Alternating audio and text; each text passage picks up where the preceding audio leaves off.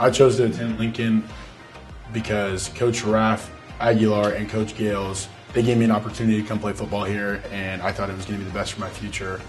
And I wanted to help develop this football team as an offensive lineman and a leader up front. I'm currently majoring in physical education, and I plan to become a coach and a teacher because I want to give back to the young students what all the coaches have given back to me as a mentor and being just someone I can count on and go to for anything. I believe I received a, just a different aspect of culture. Coming from California, there's not many HBCUs out there, and just attending HBCU, it's just a different aspect of things, and it opens your eyes to a whole different type of world, and it's great to be a, a well-rounded individual.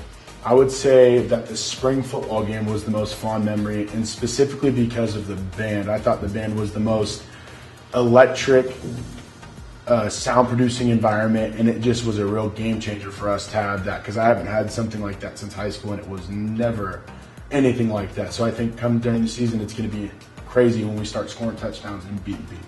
I would say that um, definitely attend the school events because they're very fun. The staff definitely tries their best to make it, you know, as an enjoyable experience for everyone, and just be involved in the school because this school has so many great opportunities, and everyone on this campus is so nice and just wants to help you.